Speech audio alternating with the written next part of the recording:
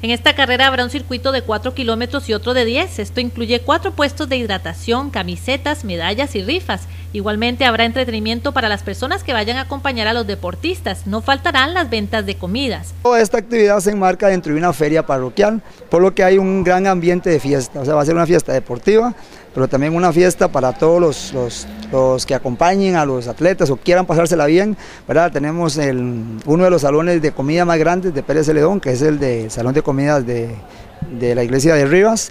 ¿verdad? Les vamos a tener ahí todo eso bien preparado, ricas comidas y por ejemplo muchas actividades durante el día, pero lo que, los que nos compete en este momento, ¿verdad? que es la parte deportiva, decirles que a los que a los que todavía no se han inscrito ¿verdad? para la 10 kilómetros competitiva, ¿verdad? que les vamos a tener 10 categorías para, para, que se puedan distribuir, se premiarán en efectivo a los cinco primeros lugares. Al igual que en años anteriores, la carrera atlética forma parte de la feria parroquial, así que los fondos económicos recaudados en este evento se utilizarán para cubrir necesidades y para proyectos de bien social de toda la parroquia de Inmaculada Concepción de María en Rivas. Misión organizadora, como siempre, tratamos de hacer un gran esfuerzo.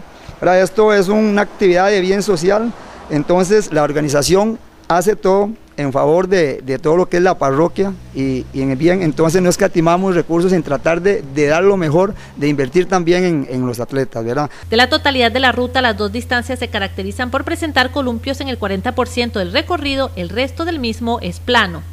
Los que todavía no se han inscrito y quieren hacerlo, además que residen fuera del cantón, pueden inscribirse por medio de la cuenta del Banco Nacional, depositando a nombre de Gabriel Mora Monje, número de cédula 1086 50 183 y envían sus datos para llenar la boleta de inscripción.